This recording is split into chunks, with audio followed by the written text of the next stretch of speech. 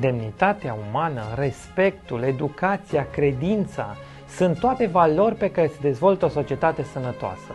Ne dorim societatea asta diferită pentru noi și copiii noștri.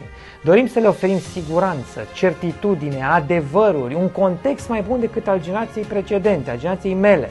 Vom face acest lucru prin votul nostru al părinților. Alegerea noastră nu va fi un partid care se prezintă un cadou perfect, fără cusur, într-un ambalaj nou, dar putred, cu oameni carismatici și totuși purtați de interese personale cu propriile lor ideologii marxiste de stânga, oamenii care sunt gata să vândă viitorul copiilor noștri pentru recunoaștere europeană.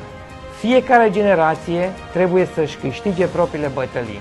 Duminică vom câștiga bătălia împotriva așa zișilor salvatori ai României.